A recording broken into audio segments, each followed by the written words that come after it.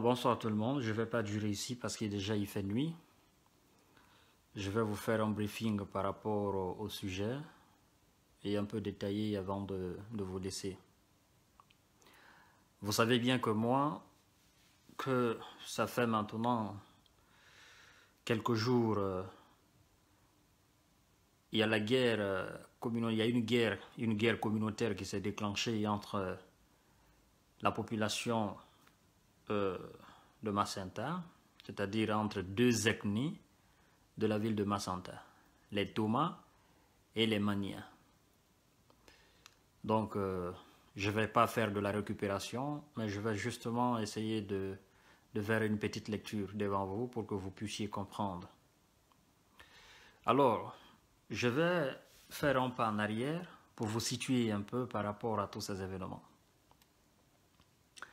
Vous savez, il y a, je pense, euh, c'était le mois d'octobre, avant le début des élections, lors des campagnes électorales en Guinée, euh, CDD arrivé à Farama, la ville natale de Sektouré, devant les sages, dans la famille même d'Ahmed Sektouré, il avait prophétisé ceci, mais je pense que la plupart des gens ont oublié cette prophétie, la plupart des gens euh, n'ont pas prêté attention à ce qu'il avait dit devant les sages de la famille euh, de la famille de Farana, de la famille d'Ahmed Sektouré de Farana Doumé. C'était dans cette famille quand il disait que euh, vous pouvez électrifier tout le pays, vous pouvez butimer toutes les routes, vous pouvez donner de l'eau potable, vous pouvez employer la jeunesse. Mais si le tissu social qui lie les gens, c'est-à-dire les personnes vivant sur un même territoire, si ce tissu social n'est pas solide, les enfants à venir vont détruire tout ce que vous avez fait comme travail. Je retiens bien cela. CDD avait dit ça à Farana. Et aujourd'hui, je me rappelle, je me dis c'était une prophétie. Mais la plupart des Guinéens n'ont pas prêté attention. Et nous sommes dans la réalisation, dans la concrétisation de cette prophétie-là, Macenta. Le tissu social, c'est ce qui s'enflamme. Le peu de tissu social qui résidait entre les habitants, entre les Thomas et les Maniens, à Macenta, c'est ce qui s'est enflammé. Et pour une histoire très ridicule, d'autres pensent que la ville de Macenta leur appartient, d'autres pensent que c'est faux. Alors, pour comprendre cette situation, on dit que la ville de Macenta a été fondée euh, en 1850. Je vais, si je ne dis pas une bêtise, ok, je reviens ici on dit Macenta fut, fut fondée par Massa euh, Sonitene Bakari Kuruma en, 1850, conquise par les Français et de religion chrétienne minoritaire en Guinée. Elle fut attaquée par le Libéria en 1906. Leurs troupes furent euh, repoussées en 1908. Les limites des deux frontières furent fixées. Donc, c'est une ville qui est récente parce que quand on prend 1850 en 2020, ça nous donne quelque chose de 170 ans. 170 ans. Alors, ce qui m'intéresse ici dans cette affaire de à qui appartient la ville et à qui ne l'appartient pas, moi je me dis, il y a une affaire politique là dans l'histoire. Vous savez, il n'y a pas très longtemps, la jeunesse de Macenta s'est mobilisée pour faire une manifestation euh, en réclamant des routes. Et aujourd'hui, vous constaterez avec moi que cette jeunesse est complètement divisée. Vous avez vu euh, tous cette vidéo où euh, la jeunesse de Macenta s'était mobilisée pour demander des routes. Alors, je pense qu'il y a un problème politique là-dedans. Mais je me dis, Qu'est-ce que l'État joue comme rôle dans cette histoire? Qu'est-ce que l'État joue comme rôle?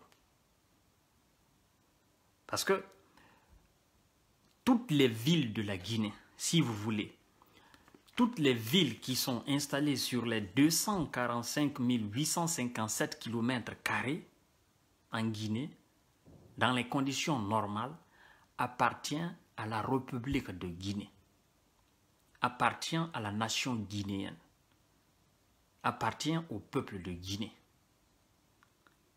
À partir du moment où tous ceux qui se sont dit, tous ceux qui se sont prétendument déclarés dans le passé en disant qu'ils sont les pères fondateurs de telle ville, de telle ville, ils ont été tous conquis, toutes ces villes-là ont été conquises par les Français.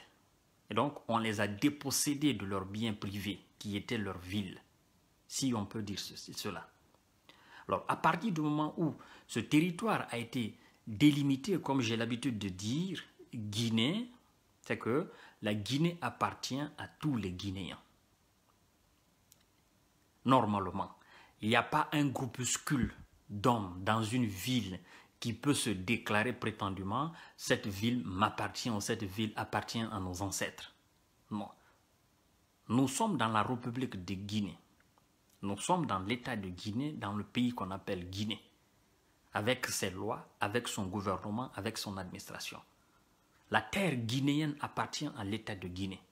Alors si les Thomas disent que la ville de Macenta leur appartient, que ce sont eux qui ont fondé la ville de Macenta, moi je pense qu'ils sont purement dans l'ignorance. Ils sont purement dans l'ignorance.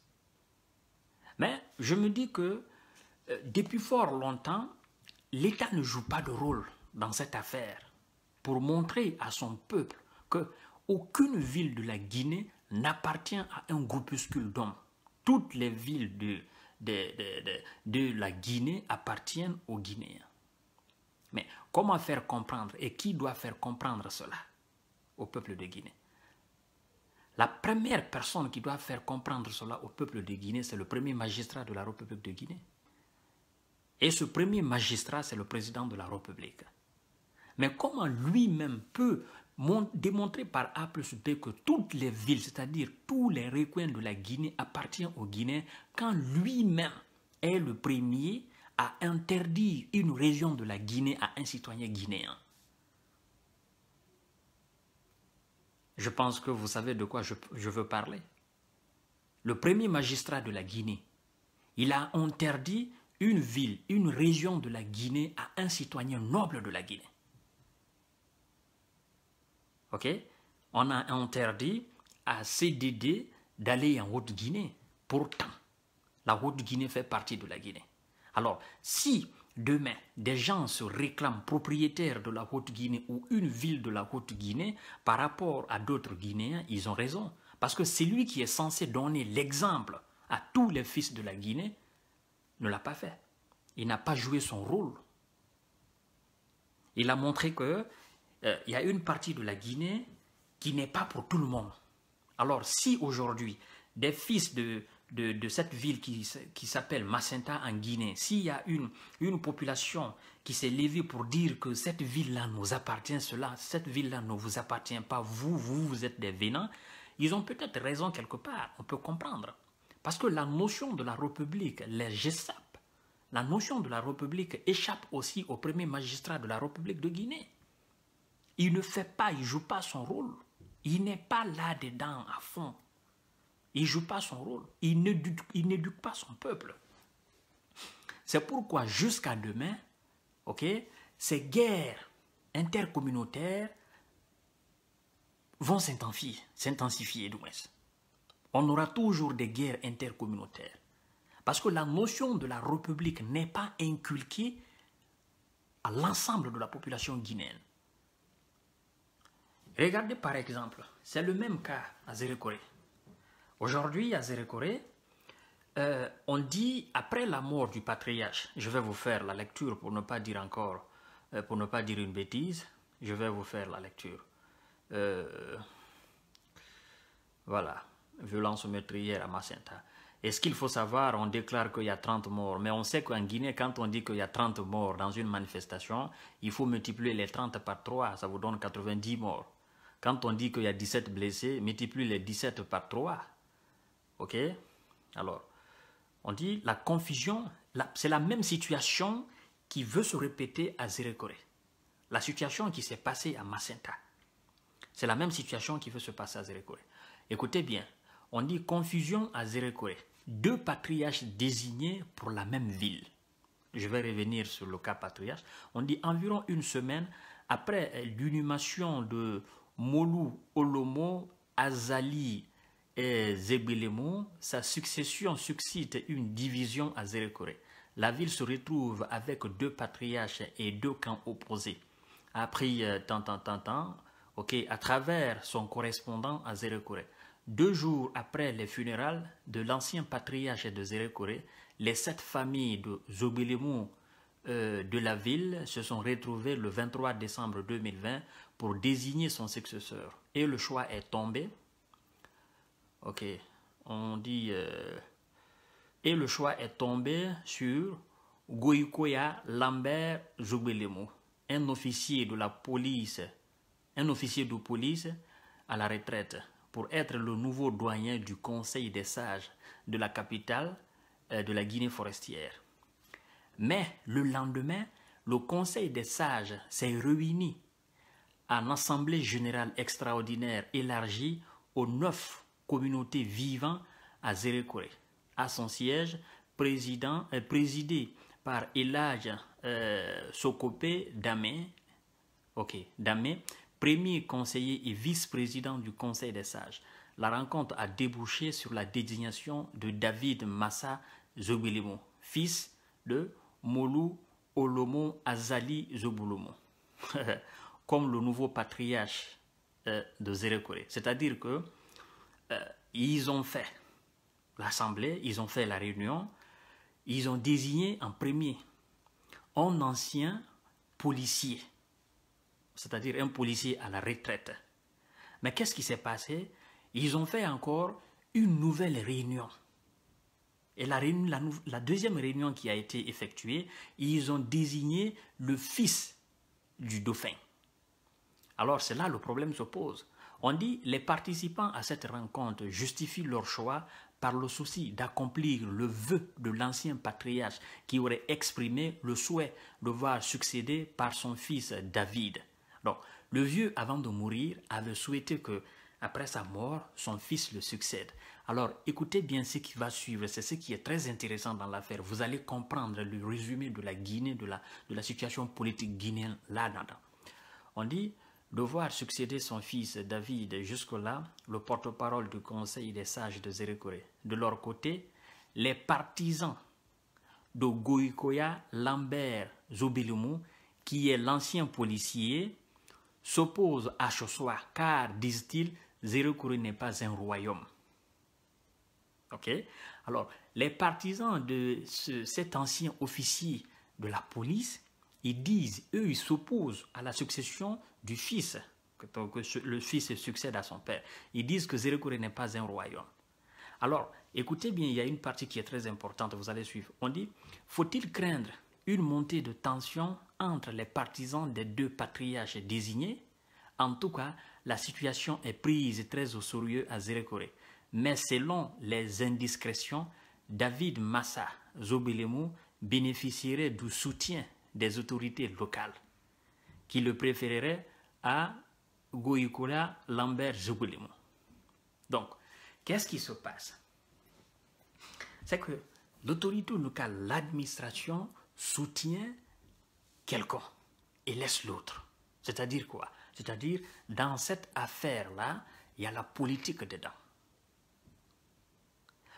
De l'autre côté, on ne veut pas que le, fils succède au, père. Parce qu'on considère simplement que Zérekore n'est pas un royaume. Et si en réalité cela s'accomplit, ça veut dire tout simplement que euh, ceux qui ont l'autorité locale, qui qui souhaite que l'autre, ok, l'ancien officier succède, euh, l'ancien officier devient, ok, le nouveau patriarche de Zérekoué, aurait simplement trahi le peuple de Guinée. Parce que d'un côté, ils ont supporté qu'Alpha Condé continue. Ok? Mais dans la ville de Zérekoué, ils supportent euh, l'ancien officier ok, en montrant la voie aux gens, aux populations de Zérékoré, que Zérékoré n'est pas un royaume, qu'il faut un nouveau chef. Le père est mort, on doit le remplacer par quelqu'un. Mais le fils ne doit pas suivre le père. Alors, cette même autorité a supporté Alpha Condé pour faire le troisième mandat. Qu'est-ce que vous comprenez là-dedans? À l'intérieur du pays, ok, on veut la démocratie, mais à la tête de l'État, on veut la continuité. Donc, si le clan du fils refuse et qu'il s'oppose, qu'ils disent qu'il faut que le fils succède à son père, ils ont raison. On doit le laisser continuer. Si l'autorité a été capable de laisser Alpha Condé continuer, cette autorité doit complètement laisser cette affaire. Le petit, le fils succède à son père. C'est simplement que ça. Mais vu peut-être qu'ils ont un peu d'intérêt avec euh, cet ancien officier, c'est pourquoi ils le supportent. Voyez-vous? Donc, il y a une nouvelle tension qui se profile à l'horizon en Zérékoré. Il faut qu'on fasse très attention. La Guinée est minée partout. Partout, il y a des mines en Guinée. Qu'on le veuille ou pas, c'est la vérité. Et alors maintenant, pour revenir au cas de la situation de, Macenta, voyez-vous, il y a combien de morts? On nous dit 30 morts, mais nous autres Guinéens, on sait que le nombre de morts dépasse largement cela. Et même, euh, il y a des citoyens même qui regardaient violence meurtrière à, Macenta, 17 corps déposés à l'hôpital de Zérékoré. Bon, mes amis, vous savez, on dit souvent que il y a la violence, euh, euh il y a la violence euh, Bambeto, Koza, Wanedara et tout ça, mais je pense que si l'autorité guinéenne ne fait pas attention, sa défaite viendra sûrement de la forêt. Parce que là, les gens, ils rigolent pas. Là, ce n'est pas une manifestation contre l'autorité. C'est une manifestation qui est très très grave. Là, ça, on, est, à la porte de la guerre. OK?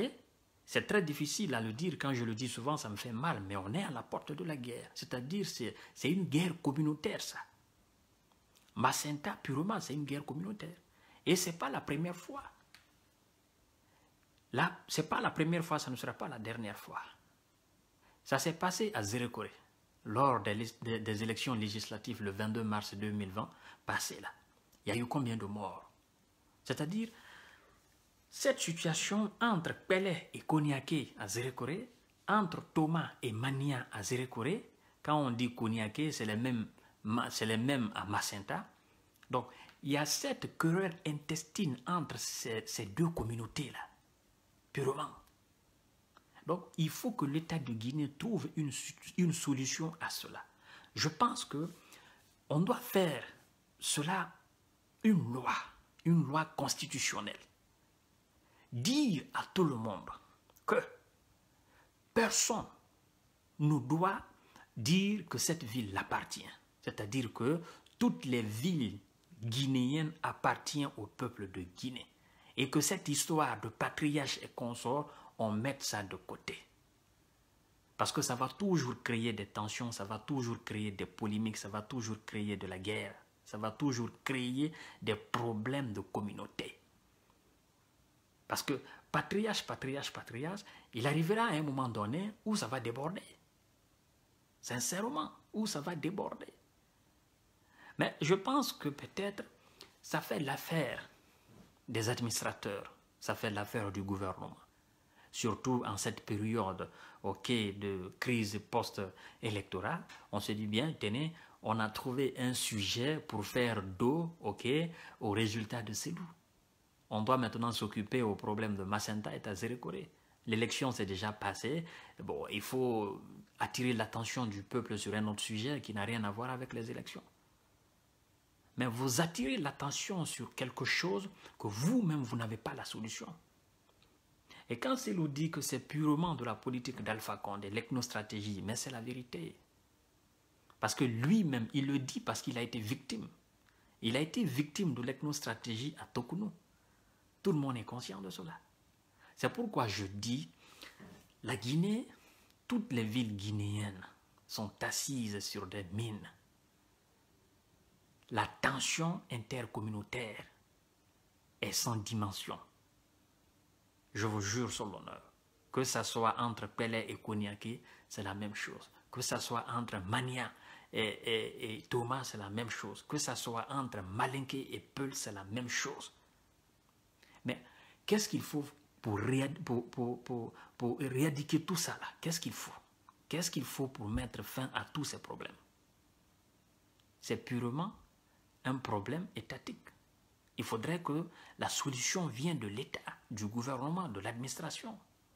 Sans cela, même si vous réunissez tous les sages de la ville de Zérékoré, ils ne seront pas d'accord. Il faut faire une loi. Sur cette histoire d'appartenance, propriété, il faut faire une loi. Et tout le monde doit obéir à cette loi, que la loi devienne constitutionnelle. À partir du moment où on dit la République, la République c'est quoi? C'est le gouvernement. Quand on dit l'État, l'État c'est quoi? C'est le gouvernement. C'est le gouvernement qui doit être fort. On doit interdire toute personne qui tient des discours à caractère ethnique, des discours à caractère tribal, des associations à caractère ethnique, des associations à caractère tribal. On doit interdire tout. Des réunions même à caractère ethnique ou tribal, on doit interdire tout. Si nous voulons la cohésion, si nous voulons la paix, si nous voulons réellement construire une bonne république. Ok? Il faut que ça soit clair dans la tête de tous les fils de Guinée que Cancan, c'est aussi la ville de CDD. Que Kouroussa, c'est la ville aussi des Thomas. Que Conakry n'est pas pour les Bagas. Conakry, c'est aussi pour les Koniaké. Conakry, c'est pour aussi des Peuls. Que Zérékouré, ce n'est pas pour les Pelés. Zérékouré, c'est aussi pour les Malinqués. Il faudrait que ça soit comme ça. Il faut qu'on quitte dans cette affaire d'appartenance, non, c'est nous qui avons fondé, c'est nos ancêtres qui ont fondé cette ville. Vos ancêtres ont fondé la ville, mais la ville a été déjà conquise par les Français. Ils ont chassé vos ancêtres, ils les ont esclavés. La ville ne les appartient plus. Ils ont délimité ce territoire Guinée et ils ont fait une république qui a eu son indépendance en, 1958. Et c'est devenu un État avec un président à la tête qui avait un gouvernement. Donc vous devez comprendre que toutes les villes de la Guinée appartiennent à, à toute la population guinéenne. Ça c'est fini, ce temps-là est révolu. On disait non, ça Touré, ça c'est fini. C'est comme quand vous prenez la ville de Cancan. Aujourd'hui, vous demandez certaines personnes, certains malinqués, ils vous diront que Cancan, c'est la ville des malinqués. Cancan appartient aux malinqués. Mais c'est de parler en parfaite ignorance. Quand nous voulons parler de la République, nous voulons parler de la Guinée, c'est-à-dire la, la, Guinée après indépendance. Parce que la Guinée précoloniale n'était pas une Guinée, n'était pas un pays qui s'appelait la Guinée. À partir du moment où c'est devenu Guinée délimitée avec des frontières, avec une superficie officiellement reconnue, un président et un gouvernement, on ne peut plus dire que la ville de Cancan appartient au Malinké. La ville de Cancan appartient au gouvernement guinéen, à l'État guinéen. Et personne ne doit persécuter un fils de la Guinée sur le territoire de Cancan. Personne, je dis bien personne. Mais ça, c'est une culture, ça, c'est une éducation. Il faut éduquer les gens à cette notion de la République. Mais comment les éduquer si le premier, le premier enseignant de la Guinée, le premier éducateur de la Guinée, le premier magistrat de la Guinée, le premier juge de la Guinée, le premier avocat, le premier procureur de la Guinée, lui-même est un ethnos. Lui-même est un ethno et il joue l'ethnostratégie pour gouverner la Guinée. Comment voulez-vous que les gens cernent bien ces notions-là? C'est impossible. C'est impossible. C'est pourquoi on ne peut pas aller de l'avant. On ne peut pas aller de l'avant avec ces idées bestiales. Excusez-moi de l'expression, mais il faut dire les choses telles qu'elles sont parfois. Regardez par exemple, quand vous prenez la France, vous prenez les villes françaises, vous prenez la ville de Paris, demandez un Français ici que la ville de Paris appartient à qui? Mais ils vont rigoler. Ils vont dire, mais la ville de France, la ville de Paris appartient à la France. Demandez euh, un, Lillois ou un Niçois, la ville de Nice appartient à qui? Mais ils, vont vous prendre pour un fou. Ils te disent, mais la ville de Nice, ça fait partie de la France. Hein?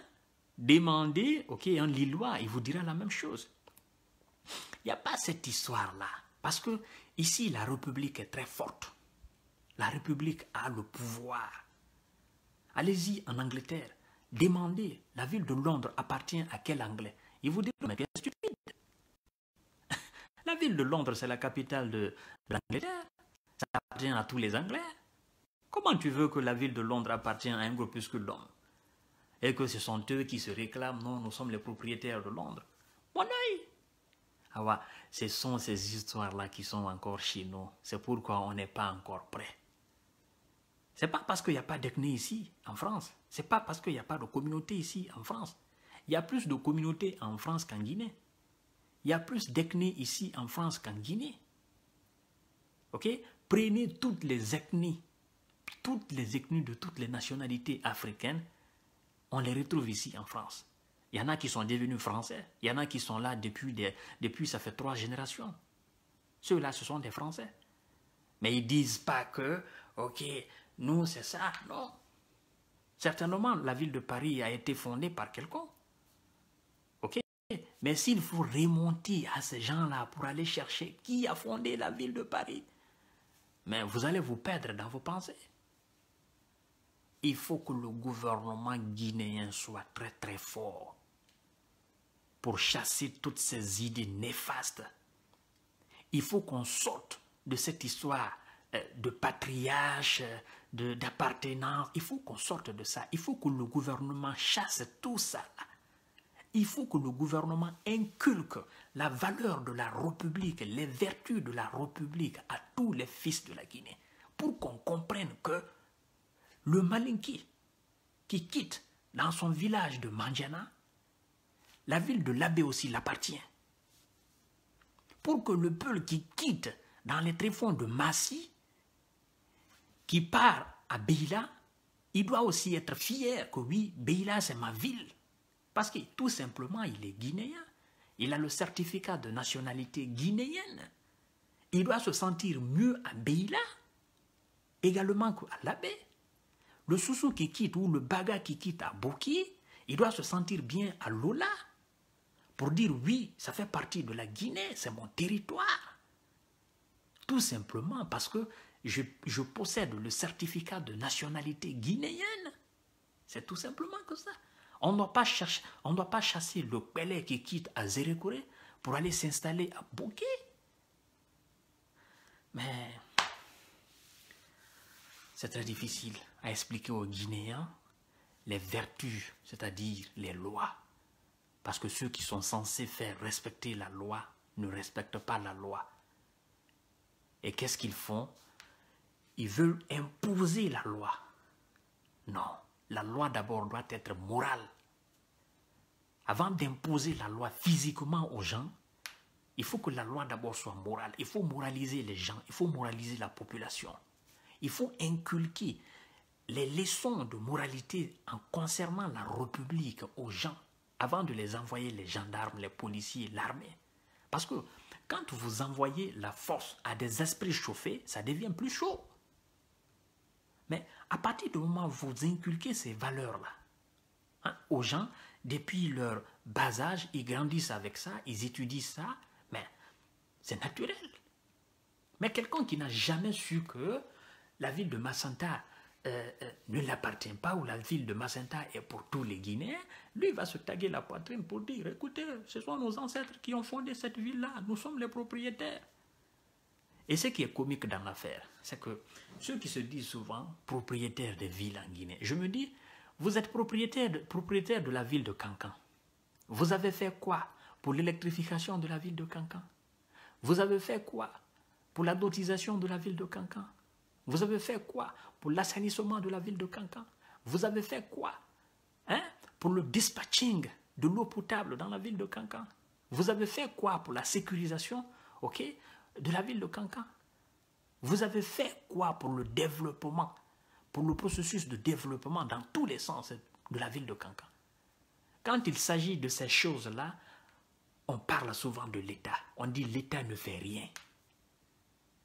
Quand il, faut parler de la sécurité, on dit l'État. Il faut parler de l'électricité, on dit l'État. Il faut parler de l'eau potable, on dit l'État. Il faut parler de l'emploi, on dit l'État. Il faut parler des infrastructures routières, on dit l'État. Mais quand il s'agit de la ville appartient qui Ah non, c'est pour nous. La ville appartient à l'État. La ville n'appartient pas au, au Malinké de Kanka. La ville n'appartient pas au Pelé de Zérekore. La ville n'appartient pas au Paga de, de Conakry. La ville appartient à l'État. Hein? Mais si vous, vous critiquez l'État parce que l'État ne fait rien, mais rendez la ville à l'État. C'est simplement que ça. Je me dis, c'est stupide. Des jeunes qui vont s'entretuer pour, pour un truc très banal qui ne fait que desservir la ville même, la cause de la ville de Macenta. Desservir la, cause de la ville de Zérekore. À cause de cette histoire de patriarche, les, habitants encore de Zérekore vont s'enflammer parce que les tensions ne font que monter. Et, patriarche ou pas, la Guinée c'est une république. Ce n'est pas les patriarches qui gouvernent la Guinée. Hein. Ce n'est pas les patriarches qui protège les citoyens guinéens. Ok? Les Guinéens ont une armée, qu'elle soit maintenant républicaine ou pas, mais les Guinéens ont une armée, les Guinéens ont une police, les Guinéens ont une administration. Les Guinéens, la ville de Zérekouri par exemple, a un gouverneur.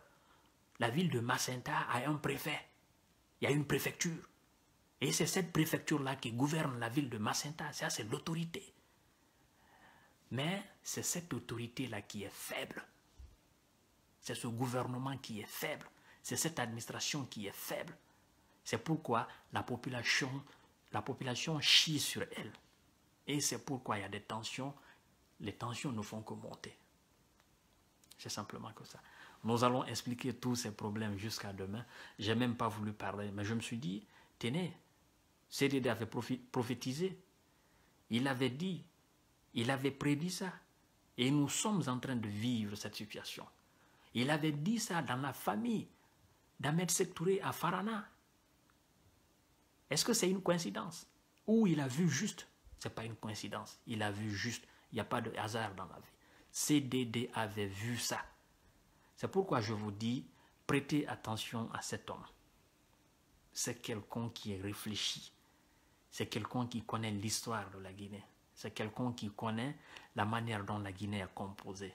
Prenez, prêtez attention à ce monsieur qui s'appelle CDD en Guinée. Prêtez attention à lui. C'est un visionnaire.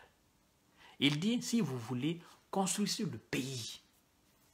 Mais en tant que le tissu social n'est pas solide entre les personnes du pays, les enfants à naître vont détruire tout.